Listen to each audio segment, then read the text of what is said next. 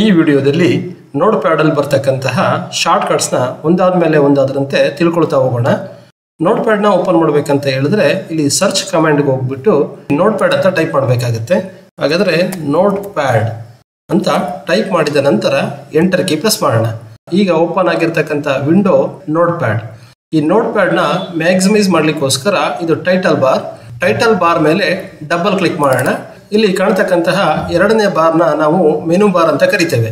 Menu ಬಾರಲ್ಲಿ ಮೊದಲನೇದು file menu, edit menu, ಕೊನೆಯದು ವ್ಯೂ ಮೆನು. ಮೊದಲನೇದಾಗಿ ಫೈಲ್ ಮೆನುನಲ್ಲಿ ಬರತಕ್ಕಂತಹ ಸಬ್ ಮೆನುಸು ಮತ್ತೆ ಅದರದ್ದು ಶಾರ್ಟ್ ಕಟ್ಸ್ನ ಒಂದಾದ ಮೇಲೆ ಒಂದಾದಂತೆ ನೋಡ್ತಾ ಹೋಗೋಣ. ನ್ಯೂ ಟ್ಯಾಬ್ಗೋಸ್ಕರ ನಾವು ಕಂಟ್ರೋಲ್ ಎನ್ನ ಪ್ರೆಸ್ ಮಾಡಬೇಕಾಗುತ್ತೆ.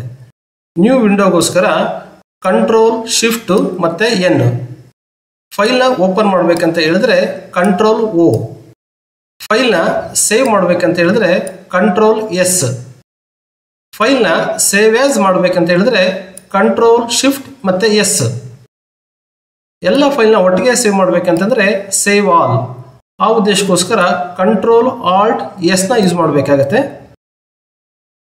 ಫೈಲ್ನ ಪ್ರಿಂಟ್ ಮಾಡಬೇಕಂತ ಹೇಳಿದ್ರೆ control P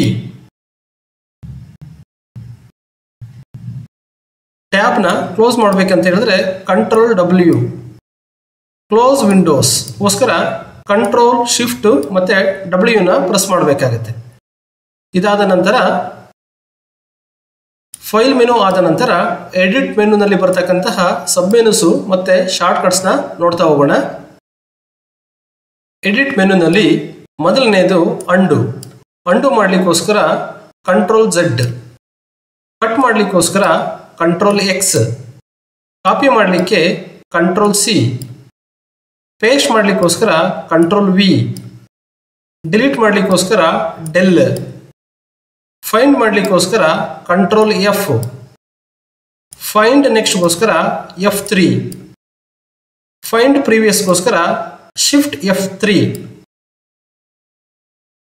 ರೀಪ್ಲೇಸ್ಗೋಸ್ಕರ control H go ಟುಗೋಸ್ಕರ ಕಂಟ್ರೋಲ್ ಜಿ ಸೆಲೆಕ್ಟ್ ಆಲ್ಗೋಸ್ಕರ ಕಂಟ್ರೋಲ್ ಎ ಟೈಮ್ ಮತ್ತು ಡೇಟ್ಗೋಸ್ಕರ ಎಫ್ ಫೈ ಇದಾದ ನಂತರ ವ್ಯೂ ಮೆನುನಲ್ಲಿ ಬರ್ತಕ್ಕಂತಹ ಮೆನುಸು ಮತ್ತು ಶಾರ್ಟ್ ಕಟ್ಸ್ನ ನೋಡ್ತಾ ಹೋಗೋಣ.